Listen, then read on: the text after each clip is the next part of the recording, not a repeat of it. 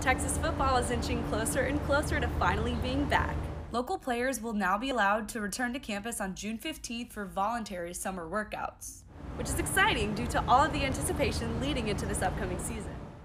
Texas offense this season may look better than it has in a long time due to some new additions, including new offensive coordinator Mike Yurcich, who was formerly with Oklahoma State for six seasons and was a passing coordinator for Ohio State last year.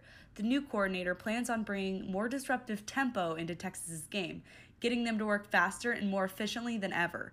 Yurcich's success in developing quarterbacks is what landed him here in Austin, Texas. Now he's got plenty of QBs to work with. Austin's favorite, Sam Ehlinger, is returning for his senior year. And Ehlinger now has three backups on the 2020 roster. Three other four star prospects will complete the quarterback list for this season, including Casey Thompson, Hudson Card, and Ja'Quinden Jackson. I'm Autumn Anderson with Fan Media Network.